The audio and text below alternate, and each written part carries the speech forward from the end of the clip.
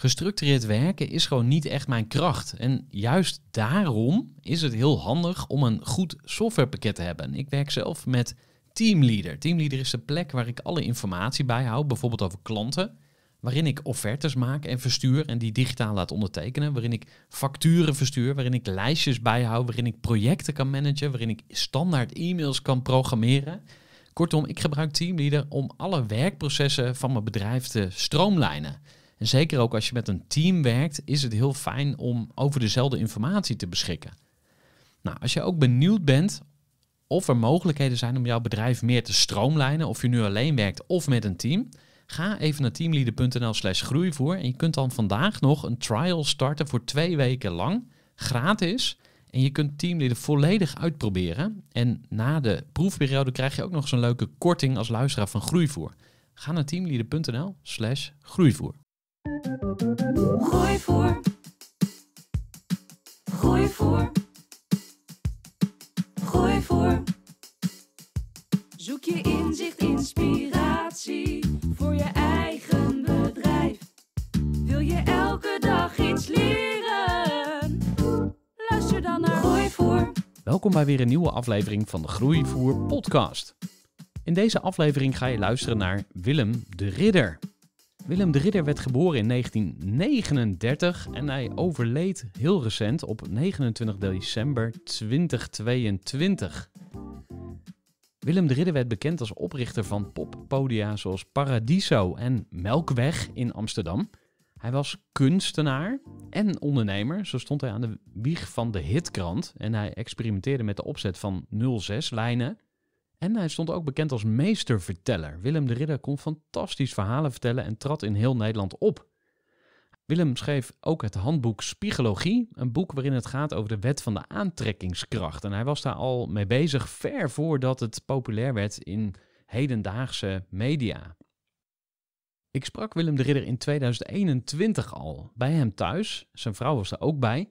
En ik was pas net begonnen met de Groeivoer podcast. En het was zo'n chaotisch gesprek dat alle kanten opging. Dus in die tijd besloot ik om het interview niet te publiceren, want ik wist gewoon niet wat ik ermee wilde.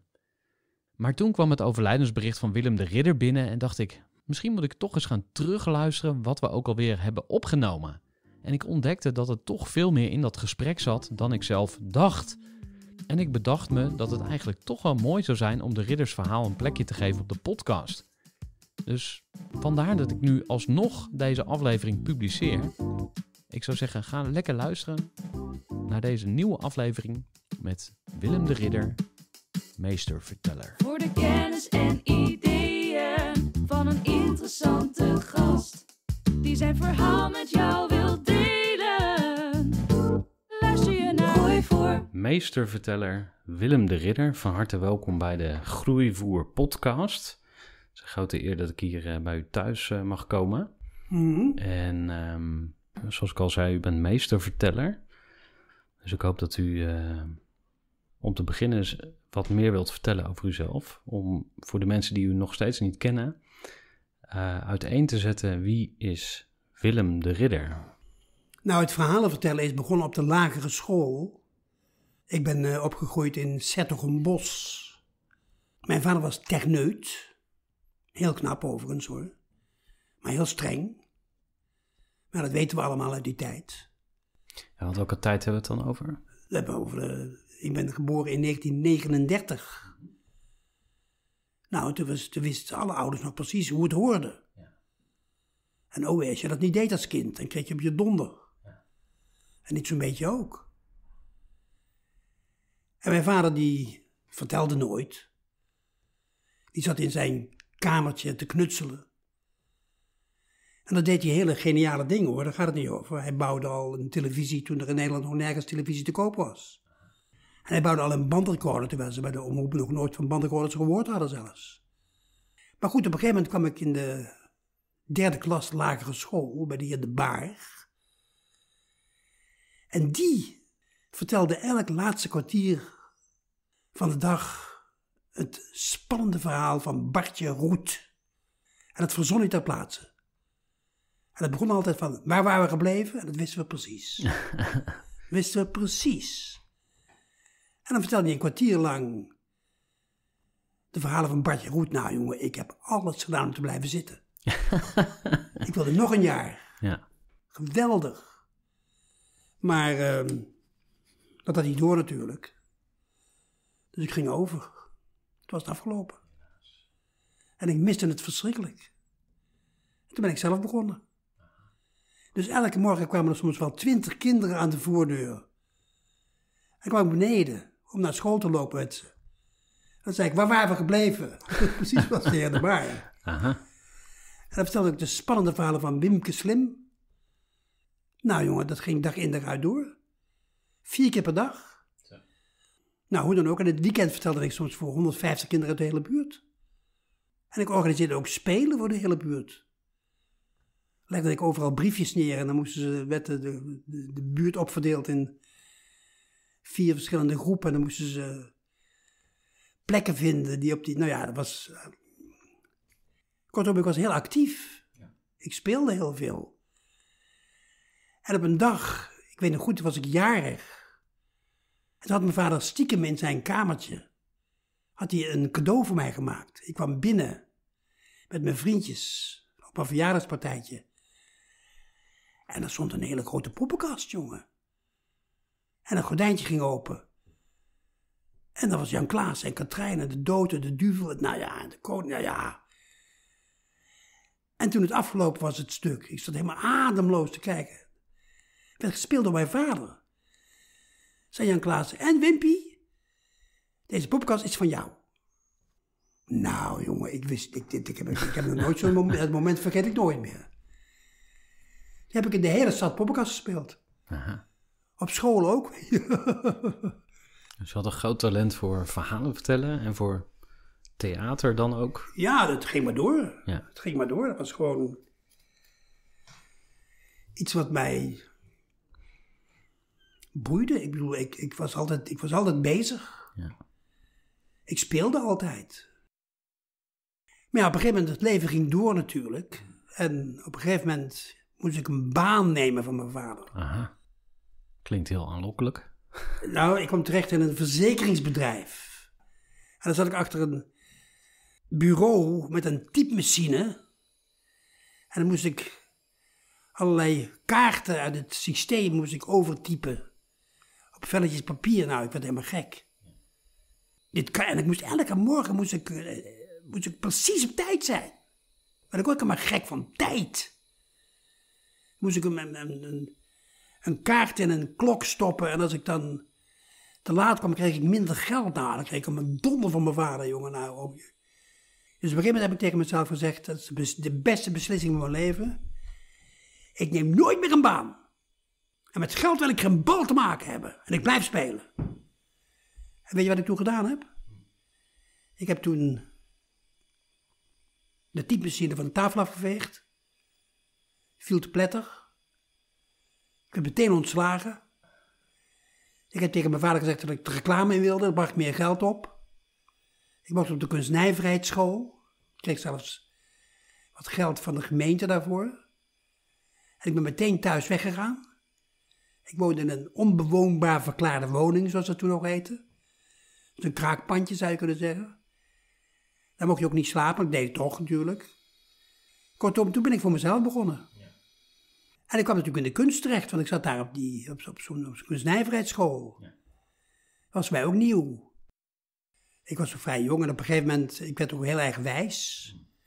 Ik had ook op, eh, op, op die school, op de academie, had ik een pantomimegroep. Met Hans Klaassen en eh Tineke Chardon. Tineke en dat heette de Theater Colombine. Dat was de oorsprong van het theater in, in het Westen, hè. Pierrot en Arlecchino en zo, en Colombine. En voor de pauze deden we traditioneel theater en na de pauze deden we experimentele dingen. Want ik begon ook geïnteresseerd te raken. Ik kende mensen die zaten bij het Brabants Orkest. En die waren met nieuwe muziek bezig. Seriële muziek en zo, dat interesseerde me hooglijk.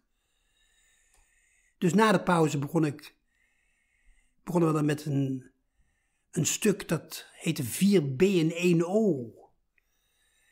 En dan maakten we geluiden en bewegingen. Maar geen muziek. En niemand snapte dat? Nou ja, Of- het, zag er wel spannend of- uit. ja. Maar niemand snapte het. Nee, Nee. dat was ook niet te snappen natuurlijk. En, en eh, hoe, hoe past dit in het, in het beeld wat eh, ik bijvoorbeeld heb van de 60s en de 70s? Van het, het breken met een eh, voorgaande generatie? Nou, dat deed ik toen al natuurlijk. Want op een gegeven moment begon ik in te zien dat de kunst nep was. Ik vond dat ze kunst moesten stoppen. Want vroeger werd kunst bepaald door de paus, door de keizer, door de koning, door de graaf. En die bepaalde wie kunstenaar was en wie niet. Hm, heel elitair eigenlijk. Heel elitair, ja. Hm. En als je afweek daarvan, nou, nou, nou pff, kreeg je donder, dan eh, vloog je eruit. En als je wel eh, geaccepteerd werd, werd je bijna van adel.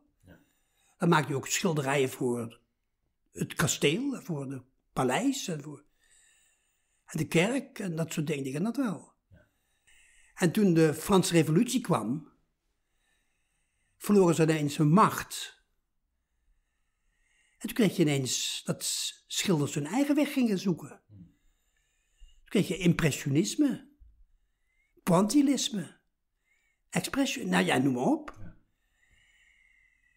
En daar werd ontzettend tegen gevochten, maar ja, ze konden het ook niet stoppen. Want ja, al die rijke adel, die had geen macht meer. En ik dacht, eh, belachelijk. En toen ben ik op een gegeven moment, ben ik een, heb ik met vriendjes een organisatie opgezet ter voorkoming van kunstuitingen. En dan gingen we naar openingen van de tentoonstellingen en die gingen we dan saboteren.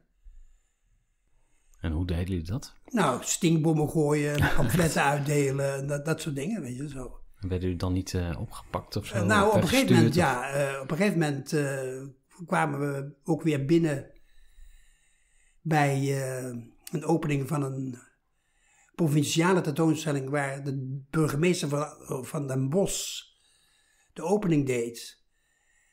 En ze wisten wie wij waren en er stond, wij kregen meteen een rechercheur achter ons aan, Hm.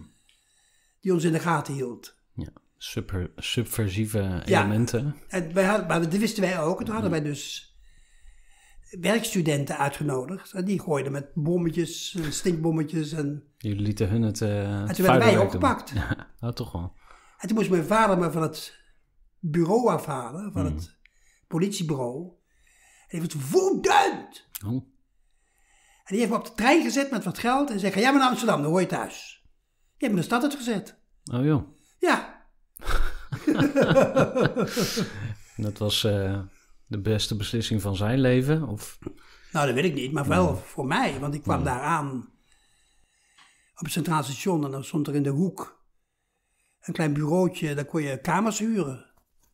Dat was toen nog. En ik huurde een kamer op de hoek van de Prinsengracht en aan de rand van, zeg maar, eh, de Westertoren. Heel klein kamertje hoor. Kostte bijna niks. En dan zat ik er ineens. Maar ik had wel contact inmiddels gekregen met allerlei mensen, waaronder allerlei componisten.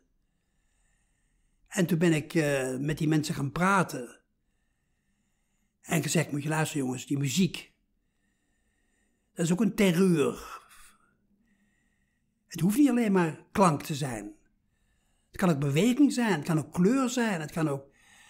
Het kan van alles zijn. Muziek is niet alleen maar dat wat jullie ervan gemaakt hebben, of wat jullie geleerd hebben op het conservatorium. Nou, ze waren geïnteresseerd. En toen heb ik de Mood Engineering Society opgezet, de MES. En daar deden allerlei jonge componisten van die tijd mee. Peter Schat, Michel Mengelberg, Louis Andriessen, Ton Brunel, nou, noem maar op. Jaap Spek, die was toen uh, assistent van Karl-Heinz Stockhausen. Nu allemaal hele beroemde namen. Ja, vinden er nog ontmoetingen plaats tussen... Nou, toen hebben we concerten gegeven. Ja. Bizarre concerten. Eigenlijk de eerste performances zou je kunnen zeggen. Want op een gegeven moment, ik weet het nog goed, dan kwam, stond er een piano op het... Een vleugel stond er dan op het uh, podium. En dan kwam Louis Andries op. Maakte een buiging applaus. Die ging achter de vleugel zitten. En dan kwam ik op als een soort zanger. Maakte een buiging en ging naast de, naast de Piano. piano staan. Mhm. En dan sloeg hij een toon aan. Bang. En dan werd het stil. En iedereen zat te wachten tot er iets kwam en er kwam niks. En dan riep iemand in de zaal, komt er nog wat? En dan riepen we allebei tegelijk, komt er nog wat? Werd de hele zaal weer stil. En dan weer niks. En elke keer als de zaal reageerde, herhaalden wij wat de zaal deed of wat voor geluid. En toen had de zaal door dat zij het stuk maakte. Nou, dan barstte het los en wij ook. nou, de pers was woedend. Die vond het verschrikkelijk. En op een gegeven moment, ik weet nog heel goed, zei Peter Schat tegen mij: Willem, ik heb toch besloten om meesterwerken te maken. Want ik, ik zei altijd: Jullie hebben geleerd om meesterwerken te maken, hè? anders hoor je er niet bij. Nou, ze zijn er allemaal uitgestapt, want ze waren doodsbang voor hun carrière. Dus ze hebben een soort experimentele periode gehad. En daarna Ja. vluchten ze als het ware terug Ja, naar wat ze kenden. ja. Die, die gevestigde orde, daar bent u eigenlijk altijd buiten, buiten gebleven? Of het is u wel dan gelukt? Of, Nou ja, de, de, ik, heb, ik heb me er nooit mee bemoeid. Ik heb altijd eh, eh, gepest, zeg maar. Want op een gegeven moment, ik weet het nog heel goed, hoorde ik van een man uit Zuid-Korea, die een tentoonstelling had in Boepertaal. En die deed hele bijzondere dingen. Die werkte als eerste in de wereld met video. Namjoon Paik heette die. En toen ben ik naar de Haagse Post gestapt. Ik heb gezegd, moet je luisteren. Eh, als jullie wat geld voor me hebben, dan ga ik een stuk maken over Namjoon Paik.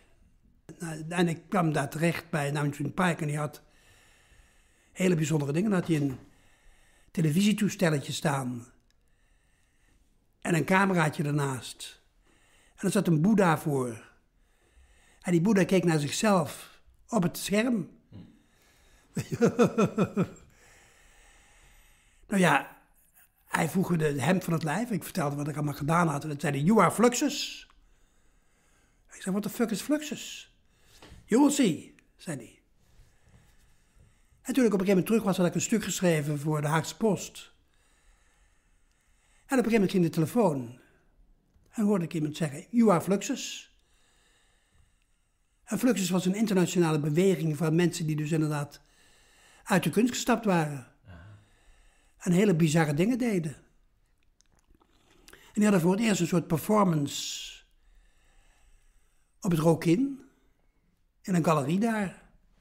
Ik werd ook uitgenodigd. En ik vond het geweldig. Maar tegen die tijd, omdat ik dus met dit soort dingen bezig was, kwam ik ook in contact met Wim T. Schippers. En op een gegeven moment kregen wij zelfs van de VARA een uitnodiging in 1963 om een televisieprogramma te maken over de nieuwe kunst.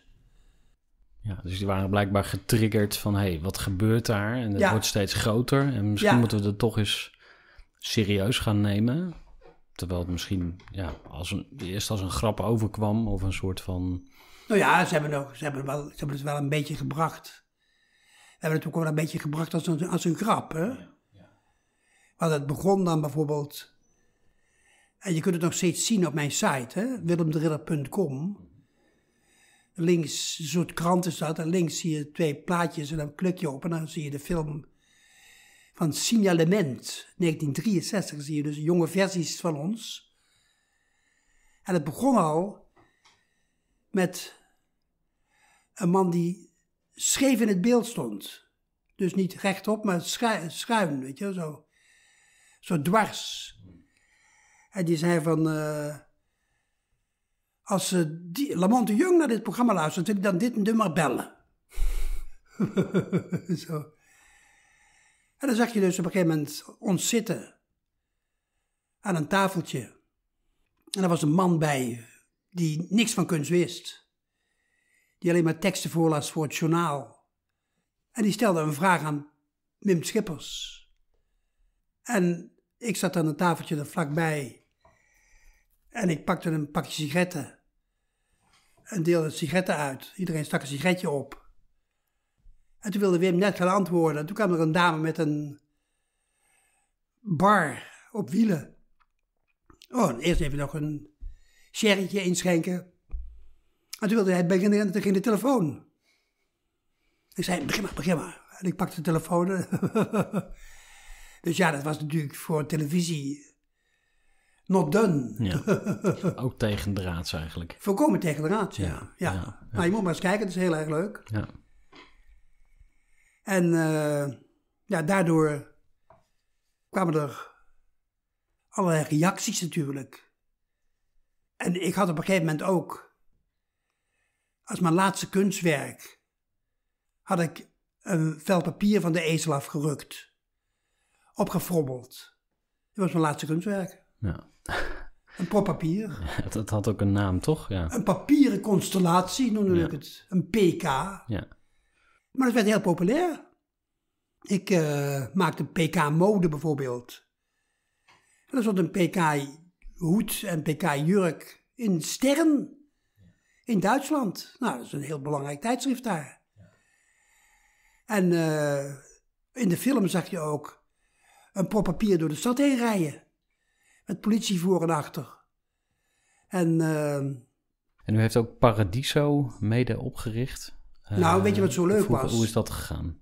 Het is op een gegeven moment hingen mijn proppen papier zelfs in het gemeentemuseum in Den Haag.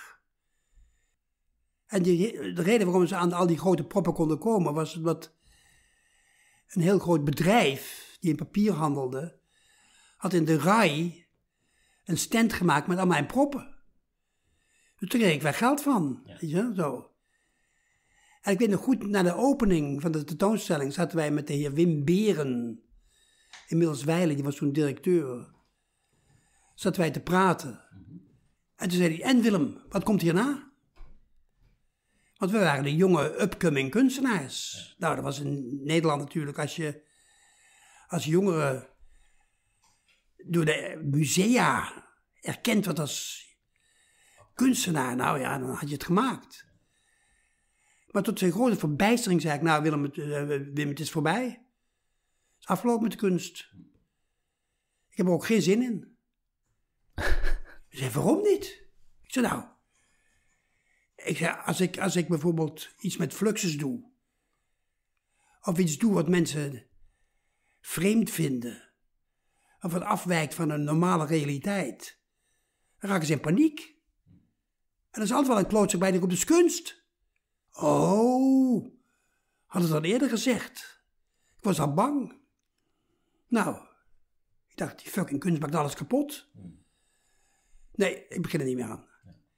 Toen ben ik een jaar later, ben ik begonnen, samen met Peter J. Muller, aan een tijdschrift. Hij had namelijk een, een, een, een, een, tijdschriftje gemaakt op een, bij een lokale buurtdrukker. Nog met lood toen de tijd. Dat heette Beatbox. En dat zag er zo bizar uit, vond ik heel leuk. Ik dacht, hé, hey, dat is leuk. Ben ik met hem gaan praten, toen ben ik aan mee gaan werken. Maar dat lood vond ik niks, het was zo ouderwets. En daar kon je zo weinig mee doen. En toen ontdekte ik op een gegeven moment de stiefzoon van Jonkheer Sandberg, die toen directeur was van het Stedelijk Museum, had samen met Ruud Schoonman, dus twee werkstudenten, een drukkerij opgezet. En die hadden een huis op de, om de hoek van het Stedelijk Museum.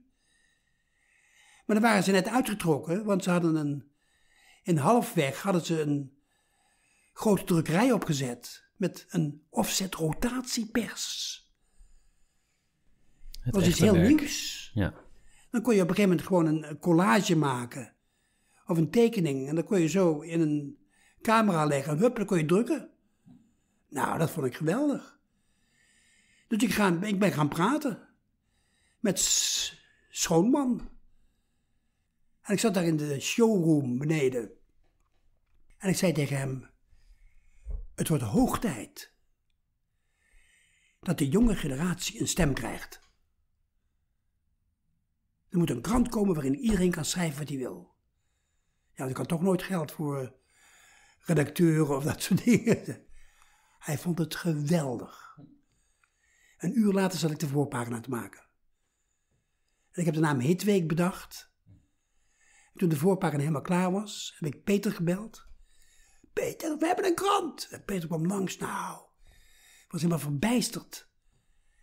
En op de achterkant van die krant, toen die gedrukt was, heb ik geschreven: Deze krant gaat uitkomen als jij erin schrijft. Als jij niks opstuurt, wat er zo in kan, dan komt het niet uit. En heeft hij er achterop gedrukt in mijn handschrift. En toen ben ik met die druk het halve land doorgereden. En overal bij fanclubs en overal, elke tiener die we zagen, hebben we een stapel van die vellen toegesmeten. Nou, aan het eind van de week lag er zo'n stapel post. Ja. Even een korte onderbreking met een belangrijke vraag aan jou. Want wat heb jij geregeld voor het geval je van de ene op de andere dag zou komen uit te vallen? Wat gebeurt er dan met je bedrijf, maar vooral wat gebeurt er met jou persoonlijk en ook in financieel opzicht? Samen met ASR voerde ik drie openhartige gesprekken over tegenslag en veerkracht. En dat deed ik met Saskia, Vincent en Pieter. Ondernemers met een bloeiend bedrijf die van de ene op de andere dag niet meer konden werken. En die verhalen hoor je in aflevering 256, 257 en 258 van deze podcast. Als ondernemer wil je natuurlijk niet uitvallen. En daarom is het belangrijk dat je veerkrachtig bent, want voorkomen is beter dan genezen. En als het dan toch misgaat, is het fijn dat je iets geregeld hebt, zodat je weer snel door kunt met ondernemen. Wil je weten hoe veerkrachtig jij nu bent? Vul dan in twee minuten de veerkrachttest van ASR in. Ga naar asr.nl slash veerkrachttest ondernemers. Dus Hitweek was, uh, was een hit. Het sloeg meteen, uh, het sloeg meteen, meteen aan. Alleen, ja, ja. weet je wat er gebeurde? Hm. De officiële distributeurs wilden het niet verspreiden. Hm. Ik weet nog goed dat ik bij de directeur van zo'n grote uitgeverij, die ook kranten verspreidde en zo, liet ik de krant zien. En die man schrok zich wild. Want op de voorpagina stond een meisje die door haar vader geslagen werd en daar foto's van had gemaakt en daarover schreef. Nou, dat deed hij zelf waarschijnlijk ook met zijn dochter. En, ah, dat nooit! Ja, dus ze wilde het niet verspreiden. Toen zijn we begonnen met te schrijven in de krant dat iedereen het op straat kon verkopen. Nou, het werd massaal over heel Nederland verkocht. Zo kwamen soms wel twee, drie uur lang met de trein naar Amsterdam om een stapel van die krant op te halen. Ja. Echt. Het was een bepaalde generatie, of een bepaalde groep mensen ook die dat dan deed? Ja, dat was uh, de 60 jaren. Ja, ja. Ja. ja. En wat voor belang hadden ze erbij? Want werden ze ervoor betaald? Of? Nee, dat was pure overtuiging eigenlijk dat ze. Ja, ja zij, zij, ze, ze konden die krant kopen voor, voor, voor bijna niks. En dan moesten ze me voor 30 cent verkopen. Dus ze verdienden er ook nog wat aan. Maar ja, dat was het, dat was het hele punt niet. Ze vonden het geweldig. En er kwamen brieven binnen, jongen. Nou, dat had je niet voor mogelijk. Ja, wat, wat voor dingen werden er ingestuurd? Nou ja, voor het eerst kwamen er allemaal brieven uit de, uit de provincie. Ja. Terwijl de pers in Nederland, die werd in, in ja, in, de, in, de, in de Randstad mm gedaan. En de provincie hoorde er niet eens bij. Aha. Nee, het was echt... Uh, en weet je wat ook gebeurde? Omdat ik dus de, die boel in elkaar kon plakken, maakte ik hele bijzondere layouts. En allerlei kranten, die zagen dat het zo populair werd, begonnen ook met een tienerpagina. Oh ja. In de hitweekstijl. Ja. Ging je dat meteen kopiëren? Ja, ging wat, wat dacht u toen? Ja, zeker. Werd u daar boos over? Nee, ben je gek. Ik vond het alleen maar geweldig. Hm. Kan me, dat, dat soort dingen kunnen me absoluut niet schelen. Hm. En op een gegeven moment begonnen allerlei jongeren over seksualiteit te schrijven zelfs. Oké. En dus Peter J. Muller, die vond het geweldig. En die is er toen uitgestapt. En die is met seksbladen begonnen candy en dat soort dingen, weet je. Dan, nou ja, die is daar helemaal rijk van geworden. En de halve reclamewereld kwam langs, want die vonden het geweldig. Ja. Die wilden weten hoe wij jongeren benaderden. Kortom, ja. En toen op een gegeven moment kreeg ik een jongen langs en die zei: Willem, ik ben van eh, jeugd en muziek een stichting. En we willen in Felix Meritus, een gebouw op de gracht ergens, een avond organiseren en wil jij die presenteren of zo, weet je wel. Ik zei, nou, weet je, dat wil ik alleen maar doen als mensen hun eigen muziek kunnen meenemen. En zodra die gedraaid wordt, moeten ze op het toneel springen en er een act bij doen. Huh? Ik zei, probeer het nou maar. Nou, het werd een succes, jongen. Ze kwam uit heel Nederland. Hij noemde het Provadia. Nou ja, jongen, op een gegeven moment werd het zo druk. Dat het hartstikke vol was en ook duizenden mensen voor de deur stonden die niet meer in konden. En er ontstonden Provadia's in heel het land. En, dan ging En toen dan, ben ik ja. gaan praten met de gemeente, want ik zag dat er op het Leidseplein een kerkachtig gebouw stond van de humanisten. En dat stond leeg. Hm. Ik dacht, dat zou een perfecte plek zijn. Nou, ik heb heel moeten vergaderen, jongen. Ik heb daarna gezworen nooit van mijn leven met te vergaderen. Geld afgezworen, vergaderen afgezworen, in dienstverband bij een baas afgezworen. Ja, nou en toen. eh, ja, hij, we hadden natuurlijk veel macht, omdat die krant die was, die was heel populair. Ja. En toen hebben we het. eh, ik, werd wel gecontroleerd hoor. Er, werd- er werden mensen aangesteld. En ik heb de naam Paradiso ook bedacht. Hè? Hm. Maar ik vond het zo vervelend dat ze controle probeerden te houden. En toen ben ik er rond gaan kijken en toen vond ik op de Prins Hendrikkade een gebouw dat heette het Anker Clubhuiswerk. Maar daar kwam geen hond. Ze probeerden de jongeren die bij het Centraal Station, de hangjongeren, Hm. de boel een beetje versteerden. Die- Die, probeerden ze pakken te krijgen, maar die kwamen niet. Mhm. En toen ben ik daar naartoe gestapt. Ik heb gezegd, moet je luisteren. Wat zou je ervan zeggen als binnen twee, drie weken jouw tent afgela- afge- afgeladen vol is? Huh? Ik zei, garandeer je. Toen hebben we echt, terwijl ik al met de inrichting van Paradiso bezig was, heb ik de naam Fantasio bedacht. Twee posters gemaakt die op elkaar leken. De hele tent ingericht. Ik heb zelfs de hele hal daar heb ik een enorm oerwoud geschilderd. nou, kortom, één dag voordat Paradiso openging, ging Fantasio open. Hm. Tot woede van de gemeente. Want ze konden het niet controleren, want zij kregen geld van het Rijk. Hm. Geweldig. En ik was de DJ, ik was de eerste DJ. En iedereen moest dus inderdaad een LP of een CD, of nee, een CD had je nog niet in die tijd, maar een singeltje of zo meebrengen. Of een cassette. En dan, ja. Als ik het draaide, moest jij op het toneel springen Ja. en een act doen. Nou, jongen. Dus dat was zowel in Fan Fantasio als in Paradiso. Ja, ja. Zelfde, Ja, zelfde concept eigenlijk. ja exact. En ehm, eh, Paradiso, wordt het nog steeds op die manier gebruikt? Of wat, wat is daarvan? Nee, op een gegeven moment ben ik, eh, na twee jaar ben ik verdwenen. eh, hm. Want ik zeg altijd zo, het mag niet in werk ontaarden. Hè? Wat is uw definitie van werk? Nou ja, eh, moeite doen. Hè? Hm. Ja.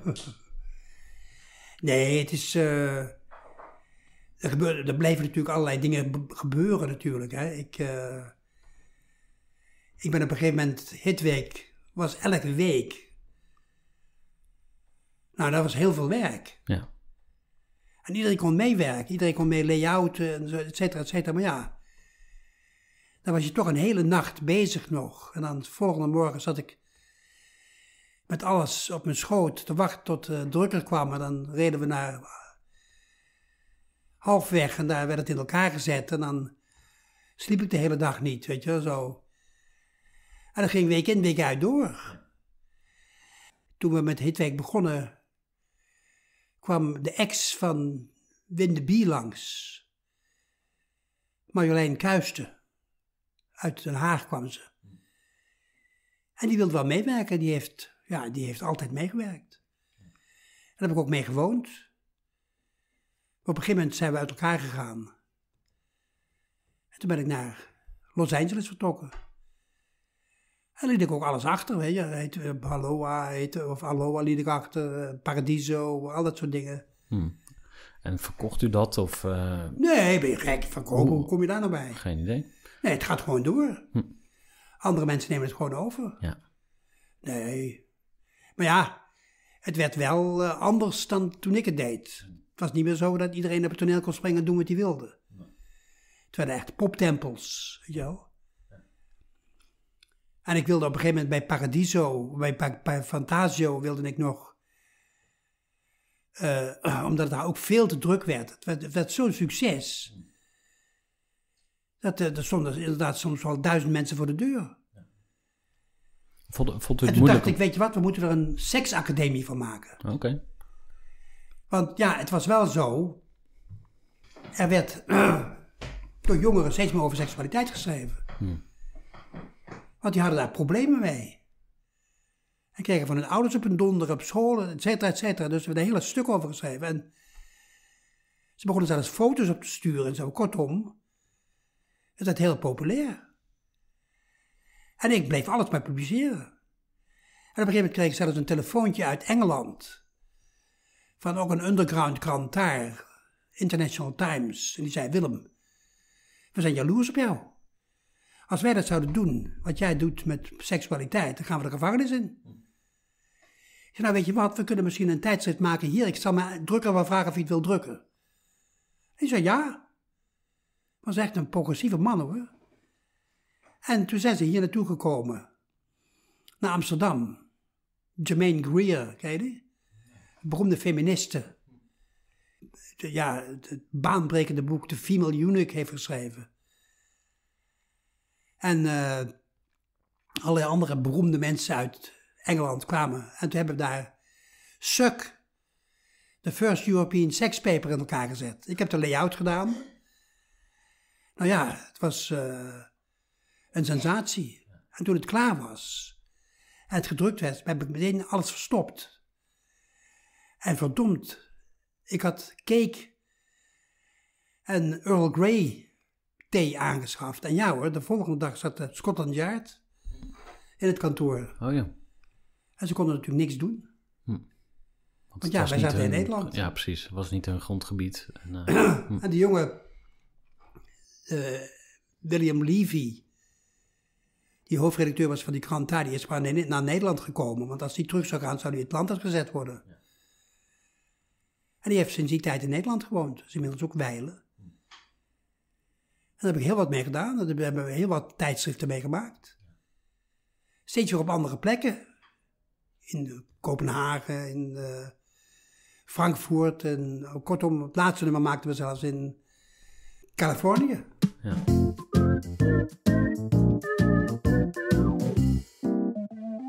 Ik maak een podcast voor ondernemers. Als, als u het woord ondernemer hoort, wat, eh, wat denkt u dan? Je wil het dadelijk dus hebben over spiegologie. Daar zou ik het ook heel graag over hebben, Ja. inderdaad. Kunt, u, kunt u dus uitleggen dat woord? Want eh, wat betekent dat eigenlijk? Nou, je kijkt in de spiegel. Jij creëert de wereld naar jouw beeld en gelijkenis. Hé, hey, we hebben dat eerder gehoord. Hè? Ja. Jij bent God. Dat betekent dus dat eh, als jij bepaalde ideeën hebt, ga je ze zien. Als je ideeën verandert, ga je iets anders zien. Zo simpel is het. Ja. En die verhalen, die oude sprookjes, die vertelden dat. Dus als jij de wereld creëert naar jouw beeld en gelijkenis, dan is het van heel groot belang wat je gelooft. Want dat gebeurt. Dus als je zegt, oh mijn god, dat lukt me nooit. Ja, dan heb je het gevraagd en lukt het je nooit. Als waar je nee tegen zegt, krijg je juist. Als waar je moeite voor doet, wat krijg je dan? Moeite. Etcetera, etcetera. Dus je moet oefenen. Je kan het niet zomaar even doen. Want wat oefen je? Je oefent letterlijk dat je bestelt wat je in het leven hebt. Je oefent ook dat je de ander accepteert precies zoals hij is. Als je iemand laat vallen, laat je jezelf vallen. Dat je leert te accepteren wat er gebeurt. Niets gebeurt zomaar. Jij creëert het. En als je iets anders wil, dan creëer je iets anders. Je leert ook complimenten te geven en te ontvangen, want daar kunnen we ook niet tegen. Als iemand zegt, goh, wat een leuk truitje heb je aan, dan tien tegen en die zegt, ja, dat is een hemaatje hoor. Heb je? Dus je leert een aantal dingen, leer je aan winnen. En het effect is verbijsterend. En toen ben ik op een gegeven moment ook voor het bedrijfsleven toespraken gaan geven. Voor de Belastingdienst, terwijl ik nog nooit belasting had betaald. Kregen ze u toch nog een keer te zien? En voor de, de, de ministerie van Financiën. Ja. En voor allerlei andere grote bedrijven. En die vonden het ook geweldig. Ja. Ja. Doe mij heel erg denken aan Think and Grow Rich van ehm eh, boeken uit Amerika. Eh, dat gaat ook over de law of attraction. Is, is het eigenlijk dat principe? Dat je bij het universum eh, bestelt wat je wilt hebben. Dat je het visualiseert en dat het dan waar wordt. Is dat Nou ja, het gedachtegoed? zo werkt het wel, ja. Hmm. Omdat er ook in Amerika steeds meer van die clubjes kwamen, zijn er een hoop mensen natuurlijk over gaan schrijven. Maar ja, dan hebben ze dikwijls, maken ze boeken en dan gaat het over huizen en over geld en over dat soort dingen. En niet dat daar iets op tegen is, maar het allerbelangrijkste is het gevoel. Hoe voelt het? Je kunt wel een Mercedes-Benz bestellen, maar dat wil niet zeggen dat je je dan helemaal happy voelt. Er was een meid die bestelde bijvoorbeeld een blond stuk met blauwe ogen. Iedereen zei, is dat alles? Ja, blond stuk met blauwe ogen. En verdomd, binnen een paar weken kwam ze langs met een, echt een beauty van een jongen. Blond. Blauwe ogen. Maar een ruzie dat ze met hem had, zeg. Maar ze had vergeten te bestellen dat ze in harmonie met hem wilde leven. En dat is essentieel. Heb je, aan dat soort dingen moet je aan wennen. Dat je gewoon, en dat is in het bedrijfsleven natuurlijk ook zo. Je kunt wel keihard werken. Maar waarom zou je? Je kunt beter bestellen dat je een heerlijk leven hebt. En dat dingen met groot gemak lukken. En inderdaad, er zijn tegenwoordig bedrijven waar mensen inderdaad op die manier werken. En met groot effect. Heel, heel geweldig. En dat, eh, nou ja, ik heb toen de tijd voor heel wat bedrijven inderdaad dat verteld. En het boek ging maar door. Het, was inmiddels al aan de negende druk toe. Ja. ja. Het staat nog steeds op bol.com. En ehm, er worden ook allerlei onderwerpen aange, aangestipt natuurlijk in het, in het boek. Omdat het een, een eh, ja, bijna een soort filosofie is eigenlijk. Eh, en ergens in het boek heeft u het ook over succes. En ik ben wel eens benieuwd, eh, wa- wat is dan uw eh, definitie, zeg maar, van succes? Ja, wat is het streven waard volgens u? Of, ja, waar, of moeten we überhaupt nog ergens naar, naar streven? Nou ja, kijk, het gaat er natuurlijk om hoe voelt het. Hmm. Dat is de essentie. Hè? Maar als jij je best gaat doen en gaat keihard werken, dan wat krijg je, wat je in heel veel bedrijven ziet? Mensen die overspannen raken. En die allerlei kwalen krijgen. Maar ja, ze weten precies hoe het moet en hoe het hoort. Dus het gaat er in feite over, hoe voelt het? En dat is van essentieel belang. En als het niet lukt, zo wat? Ook niet je best gaan doen. Want dan krijg je moeite. En zo gaat het maar door. Dus, maar dan moet je aan wennen. Want op een gegeven moment gaat het bijna vanzelf.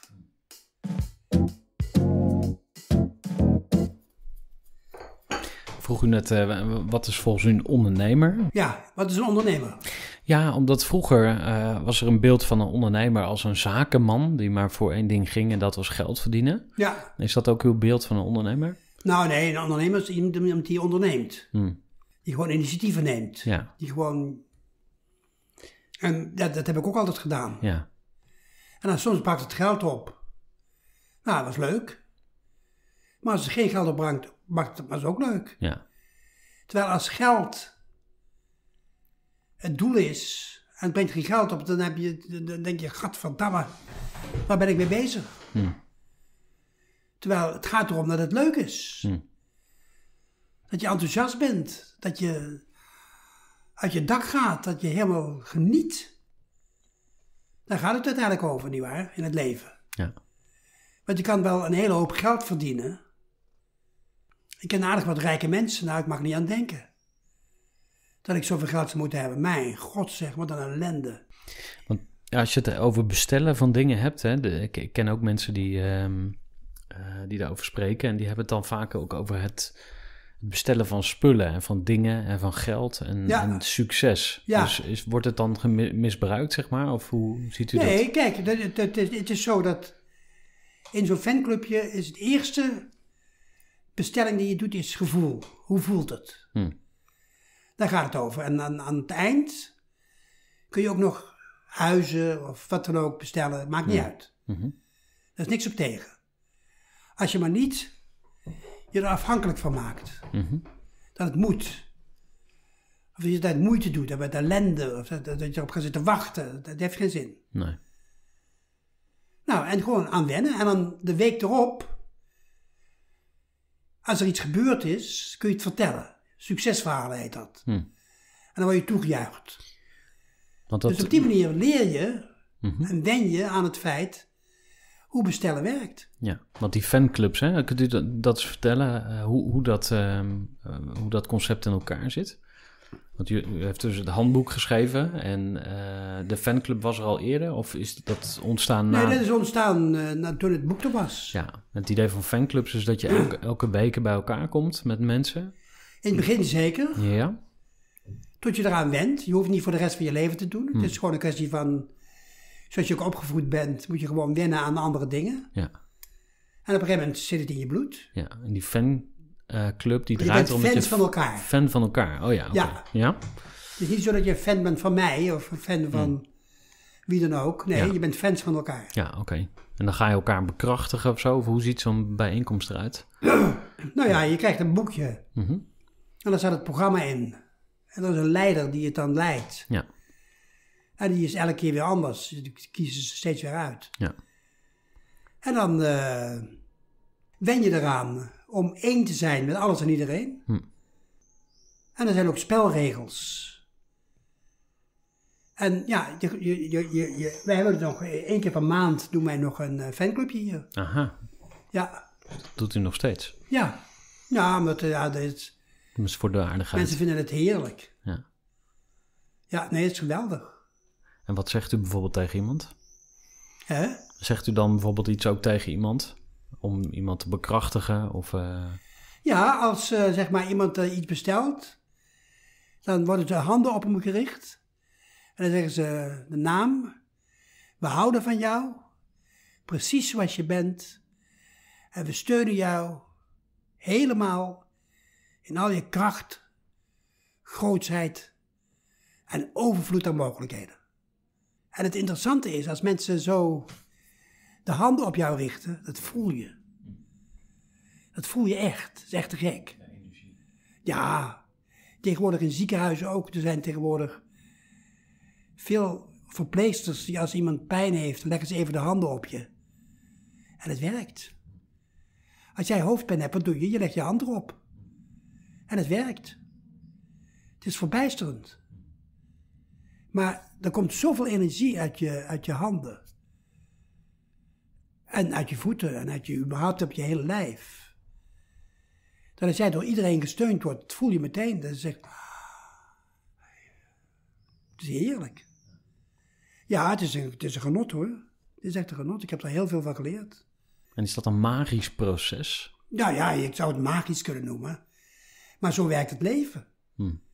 Jij creëert het leven naar jouw beeld en gelijkenis. Hm. Dat wat jij geleerd hebt, is wat je ziet. Hm. Als jij denkt, als jij wil weten hoe je, waarom jouw leven werkt zoals het werkt, kijk dan wat je allemaal gelooft. En kun je dat dan veranderen, wat je gelooft? Ja, natuurlijk, je kunt eh, oefenen. Maar u heeft heel radicaal gebroken met een aantal dingen. Maar van jongens af aan al. Ja. En ik merkte dat het werkte. Ik zei bijvoorbeeld, ik zal je een voorbeeld geven. Ik zei vroeger altijd, geld heb ik niet nodig, ik ben wel rijk. Dus ik had zelden geld. Ja. Maar op een of andere manier vielen dingen altijd weer op hun plaats. En op een gegeven moment begon ik me te realiseren, wacht even Willem. Je kunt ook zeggen, ik ben rijk en ik heb nog geld ook. En verdomd, er kwam geld binnen. Ja. Toen ik het een paar keer gezegd had. Want, eh, ke- kent u eh, bijvoorbeeld eh, Eckhart Tolle? Ja, ik heb het nooit gelezen. Hm. Eh, Michael Pilarczyk, kent u die? eh? Ik lees No? nauwelijks boeken eerlijk Oké. Ja, maar ehm, dus er is nu een hele scene gaande van, van eh, mensen die ook bezig zijn met de wet van aantrekkingskracht, met alles is energie Ja, en de kosmos en ja, dat soort ja, hoe, hoe, kijkt u daarnaar? Want er zijn dus heel veel mensen die nu vandaag elke ochtend voor de spiegel staan en die zeggen: Ik ben miljonair. En die dan dat ook echt Ja, of hopen of geloven, maar, of iets ertussenin. Maar ja, wat, wat zou u tegen mensen willen zeggen? Wat denkt u? niet zoveel moeite doen, jongens. Hm. Dan krijg je moeite als je het elke dag weer gaat doen. Mhm. En ik ken mensen die ook bijvoorbeeld dan eh, hele, hele dingen op, eh, dat, hele tekeningen maken of foto's en zo, die hangen ze Ja. dan op. Vision boards. Ja, Mhm. et cetera, et cetera, et cetera. Het is typisch Amerikaans. Hè? Ja. Ik heb natuurlijk jaren in Amerika gewoond en dan zie je hoe ze daar hun best doen. Weet je wel. Pff, Help. Dus als je moeite doet, dan Ja, krijg krijg je moeite. moeite. Dat is Ja. eigenlijk de... Ja. Alles wat je energie in steekt, die groeit. Hm. Dus vanaf nu bestel je en maak je niet druk. Hm. Gewoon chillen. Loslaten. ja. Is, eh, is het nu heel anders dan eh, in, in uw tijd, zeg maar, om te ondernemen, om iets op te zetten? Want zoals, het, zoals u het vertelde, klinkt het voor mij heel vrij. Alles kan, alles is mogelijk. eh, maar misschien was dat juist helemaal niet zo. Omdat je... Nou, voor mij wel. Ja, En dat eh, in die tijd had je natuurlijk ook nog dat iedereen met die opvoeding zat. Van hard werken, moeite doen, braaf zijn, opletten, hou je bek, et cetera, et cetera. En op, op eh, bedrijven ook, weet je, dat was eh, niet gering. Hoe je dikwijls gepest werd. Hoe die sfeer op de kantoren was. Brrr. Echt, nou jongen, daar ben je, daar ben je niet vrolijk van. Hm. En dat eh, is aan het veranderen. ja. Men begint door te krijgen. Ja, en misschien ook wel omdat in dat handboek Psychologie, dat kun je nog wel een keer lezen, dat lees je heel snel uit. Maar als je gaat oefenen, wordt het een patroon. En ik, eh, ja, ik hoor zelfs van kleine kinderen die daarmee aan de gang zijn. Ja. En die daar helemaal van genieten. En dat het ook werkt. Dus ja, het is, eh, ik vind dat het heel goed gaat, ja. Ja, Eh, u had het ook over doodsangst. Ehm, gelooft u dat er dat het eh, ophoudt met de dood, zeg maar? Of dat, dat eh, als je doodgaat, dat je leven dan, stop, ja, dan lop- stopt je leven, maar is, komt er daarna iets? ik heb geen idee. Wat denkt u? Of wat hoopt u? Ik, nou, het kan me niet schelen, eerlijk gezegd. Ik maak me nooit zo druk over de dood. Ik zeg altijd doorgaan. Hm. We gaan niet dood, we gaan door. dus het kan best hè, dat, je, dat je doorgaat, maar je hebt geen idee. Gelukkig. Nee. Zijn er nog dingen eh, die u eigenlijk nog gedaan had willen eh, hebben? Naar de maan reizen of eh, landen bezoeken of gekke nee, hoor, dingen? nee, nee, nee, nee, nee. Nee, dat soort dingen die... eh, het, het, het, het, het komt op je pad, hè. Dingen Hmm. komen op je pad. Hm, Ik heb heerlijke tijd gehad in Italië. Fantastisch. Ja. Het eten alleen al daar. Oh, verrukkelijk. En ook in, eh, in Frankrijk hebben we een tijdje een huis gehad. Nou, dat was ook heerlijk. Ik heb het daar wel aan mijn hart gekregen. Hm. En nu ben ik een beetje, ja, een beetje zwakjes. Hm. Vanwege dat hart. Het gaat alweer veel beter hoor. Nou, het is niet, eh, niet te merken. Nee, nee, nee, het is niet te merken. Nee. Maar u voelt Maar het ik zelf. merk het zelf wel. Ja, Hè? natuurlijk. Dus maar ik maak me niet eh, zorgen over eh, doodgaan. Nee. En ook niet wat daarna komt. Mooi. Wat, wat is uw favoriete sprookje? Heeft u een... Ja, eh, ze zijn allemaal heerlijk. Ik heb toen een keer op de radio een verhaal verteld. Uit India. De Panchatantra heet dat. is 2000 jaar geleden voor het eerst pas opgeschreven. In meer talen vertaald dan de Bijbel. Het zijn vijf delen. En het is een verhaal over twee prinsen. En de vader die wil ze goed opvoeden, zodat ze met de macht kunnen omgaan. En hij weet niet wie hij daarvoor moet nemen. En op een gegeven moment komt er een man. En die zegt, hij zegt wat, wat, wat doet u? Wij verhalen vertellen. Oh ja, nou, nee. Nee, zegt hij. Ik denk als ik gewoon de verhalen vertel die er zoons nodig hebben, dat ze helemaal veranderen. En zo gebeurt het. Echt geweldig. Dus deel 1, hoe je vrienden maakt, duurt 5,5 uur. Nee, 4,5 uur.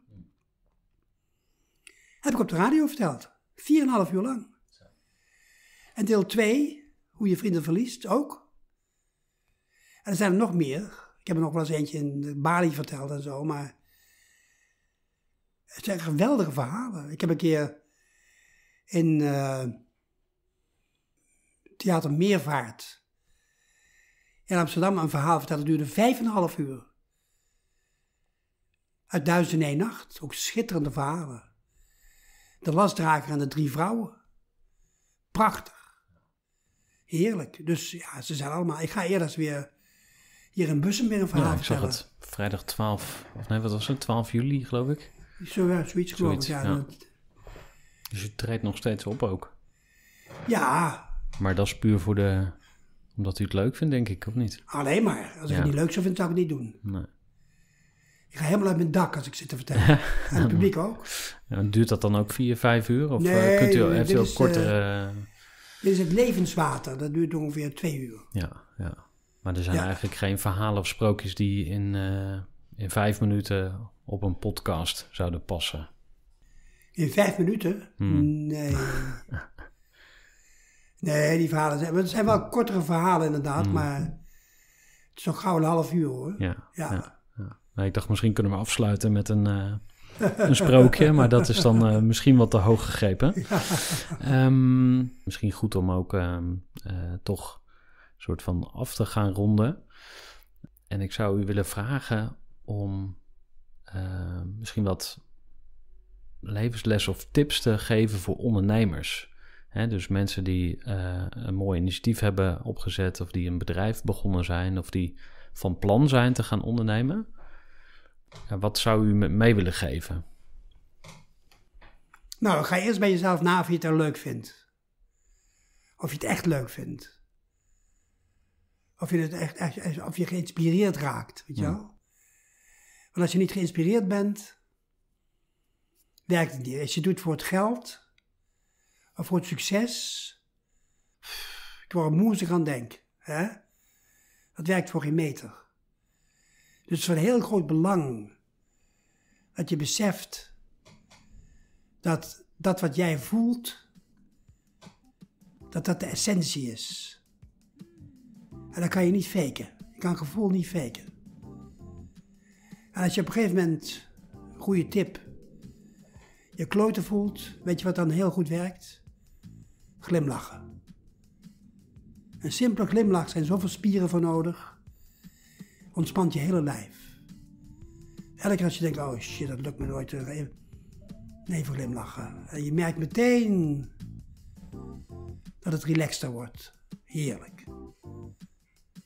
Dus dat is het allerbelangrijkste bij ondernemen. Doe het omdat je het echt leuk vindt. Omdat je inspireert. Omdat je er echt voor voelt. En dan gaat het ook vanzelf. Heerlijk. Oké? Helemaal goed. Hartstikke bedankt. Gooi voor. Gestructureerd werken is gewoon niet echt mijn kracht. En juist daarom is het heel handig om een goed softwarepakket te hebben. Ik werk zelf met Teamleader. Teamleader is de plek waar ik alle informatie bijhoud, bijvoorbeeld over klanten. Waarin ik offertes maak en verstuur en die digitaal laat ondertekenen. Waarin ik facturen verstuur, waarin ik lijstjes bijhoud, waarin ik projecten kan managen, waarin ik standaard e-mails kan programmeren. Kortom, ik gebruik Teamleader om alle werkprocessen van mijn bedrijf te stroomlijnen. En zeker ook als je met een team werkt, is het heel fijn om over dezelfde informatie te beschikken. Nou, als je ook benieuwd bent of er mogelijkheden zijn om jouw bedrijf meer te stroomlijnen, of je nu alleen werkt of met een team, ga even naar teamleader.nl slash groeivoer en je kunt dan vandaag nog een trial starten voor twee weken lang, gratis. En je kunt Teamleader volledig uitproberen. En na de proefperiode krijg je ook nog zo'n leuke korting als luisteraar van Groeivoer. Ga naar teamleader.nl slash groeivoer.